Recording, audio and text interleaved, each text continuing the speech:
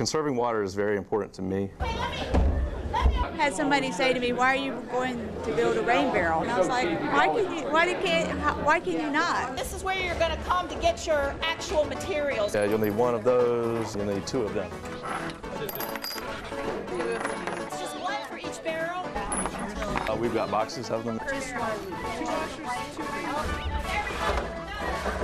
Turn it completely upside down. Put tape on the threads. Water is what it's about. I have one of these for each of the downspouts. This is barrel diving. Is this like dumpster diving?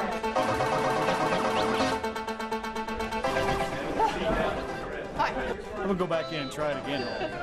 I thought I wasn't going to get back out of the barrel. We can't live without water. Oh, water is a premium. person on the inside turns it. Turn that off. A lot of fun this. Thank you. I need that, don't I? That's as far as I'm going to go. I give up. No. I couldn't feel it move. Don't you hate that when that happens? I'm game for getting some more barrels. Every half drop counts. Every drop does count. People need to know that.